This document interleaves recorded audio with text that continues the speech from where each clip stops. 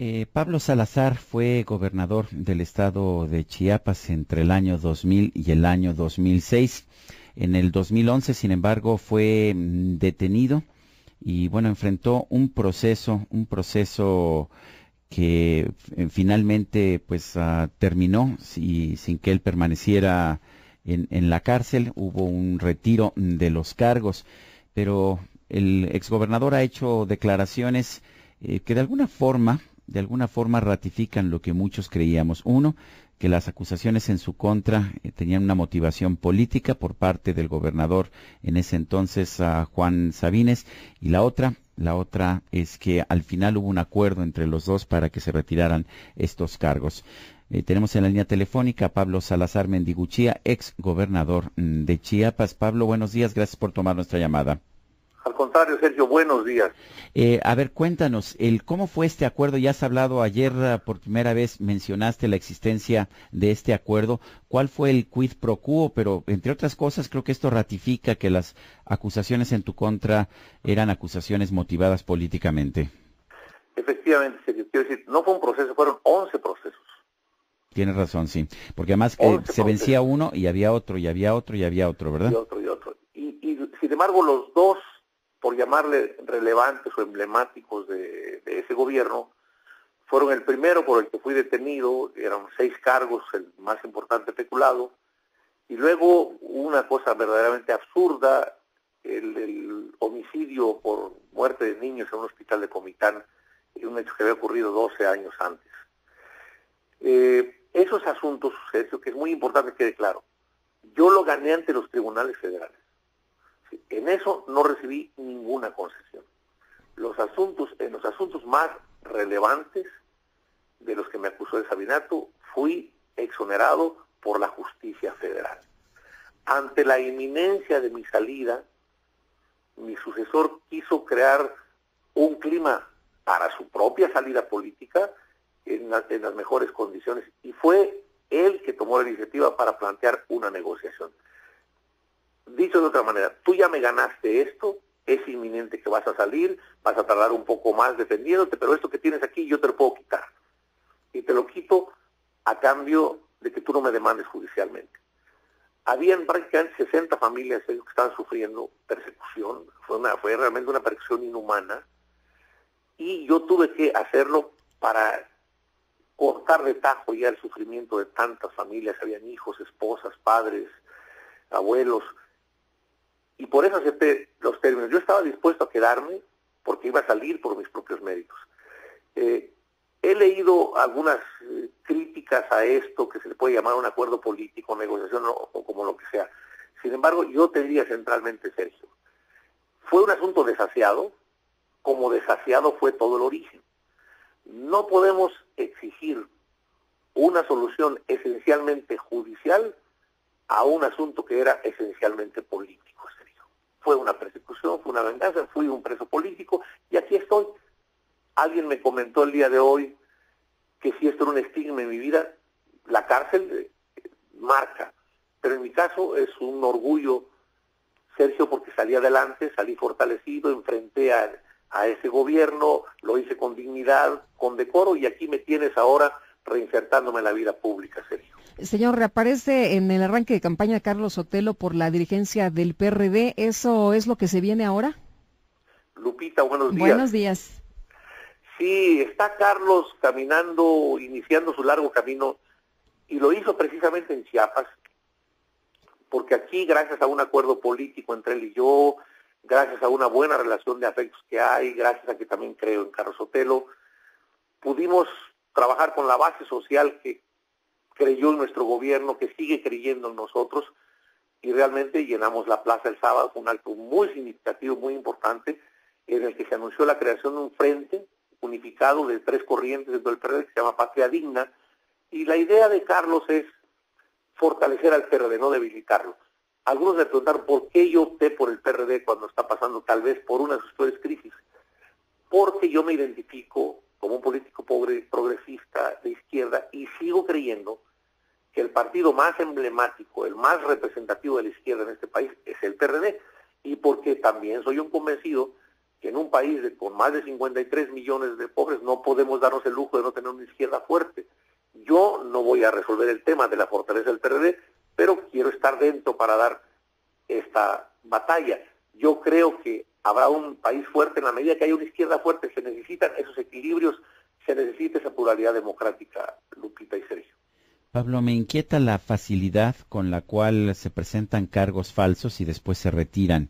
¿Y qué nos puedes decir de eso? ¿Dónde están los tribunales? ¿Dónde están dónde está la independencia de las procuradurías? Bueno, quiero decirte, Sergio, con mucha pena que en el gobierno de mi sucesor hubo una terrible regresión a Chiapas. Podemos hacer una reflexión mayor, Sergio. El presidencialismo que tanto se ha criticado políticamente al final de todo no era tan malo, Sergio. Porque el presidencialismo, finalmente dentro de un sistema federalista, tiene que ver con nuestros usos y costumbres políticos en este país. Pero el presidencialismo acotaba a los gobiernos regionales. ¿Qué fue lo que pasó cuando se cayó el presidencialismo? No construimos nada nuevo y lo que se hizo fue fortalecer a los gobiernos locales al punto de que pasamos ya de un federalismo a un feudalismo. Alguien escribió precisamente, estoy totalmente de acuerdo con eso. Los gobernadores se volvieron dueños de los pueblos. En Chiapas, mi sucesor no solamente tenía el control absoluto de la justicia, él decidía la vida de los partidos políticos, decidía la vida de los sindicatos, decidía las elecciones dentro de las organizaciones autónomas, dentro de las cámaras, dentro de todo. Incluso se le tenía que pedir permiso para hacer política en Chiapas. Mi detención, Sergio, obedece justamente a eso. Yo iba a ir a la Cámara de Senadores, tenía un ofrecimiento del senador Alberto Anaya para ir en la circunscripción, en la fórmula, en primer lugar, para regresar al Senado. Cuando se enteró de eso, mi sucesor procedió de inmediato a integrar un cúmulo de averiguaciones para impedirme que yo llegara al Senado. ¿Por qué? Porque no tenía permiso de él para hacer política, lo cual me parece verdaderamente absurdo. Entonces, él hizo todo ese entramado con cálculos en tiempos para decir yo estuviera ahí mientras pasaba el proceso electoral. Por eso se aseguraba con uno y otro proceso después. Por si le ganaba algunos, tenía otros para mantenerme ahí pasadas las elecciones. Cumplido su propósito, él mismo tomó la iniciativa de buscar la salida. Fue verdaderamente absurdo el manejo que se hizo de la justicia. Pero es justo que Juan Sabines eh, esté tranquilo, esté en paz, esté mm, libre. Yo no creo que esté, digo, está libre es un hecho. Que esté tranquilo no lo creo, porque además él que dedicó una buena parte de sus energías a desacreditarme durante todo el gobierno, ha resultado ser el gobernador más desacreditado. El que trató de exhibirme ha resultado exhibido. El que trató de humillarme es el que está humillado. Ahora la gente espontáneamente sale a las plazas en Chiapas a reclamar que Sabine rinda cuentas. Yo dejé un Estado Sergio Lupita, con cero pesos de deuda. Es falso que digan ahí que hay un registro de 300 millones o algo.